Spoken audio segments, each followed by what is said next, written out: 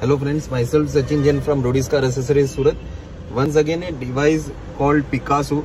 Video connected to that. Uh, Apex brand का ये Picasso हमने इंस्टॉल किया है ट्यूशन में ह्यूंडाई uh, की ट्यूशन है जिसमें हमने ये plug and play device install किया है just plug and play device है विथ सिम स्लॉट है मेमोरी कार्ड स्लॉट है four RAM and sixty ROM है इसका प्रोसेसर भी बहुत फास्ट है सो टच क्वालिटी साउंड जो आप देख रहे हो ये भी बहुत इसका क्वालिटी साउंड रहेगा। सो रीजन मैं आपको ये सजेस्ट करता हूँ कि आप ओरिजिनल प्लेयर मत रिप्लेस करिए और प्लग एंड प्ले डिवाइस लीजिए, क्योंकि जो ओरिजिनल की क्लियरिटी है, वो मेंटेन रहेगी। कोई वायरिंग नहीं होगा प्लग एंड प्ले डिवाइस रहेगा।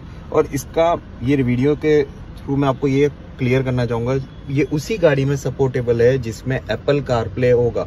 एप्पल कार प्ले होगा तो ही ये डिवाइस वर्क करेगा अदरवाइज़ ये डिवाइस वर्क नहीं करेगा so plug and play device है for all the cars which are having Apple car play in that you can convert it to Android player thank you.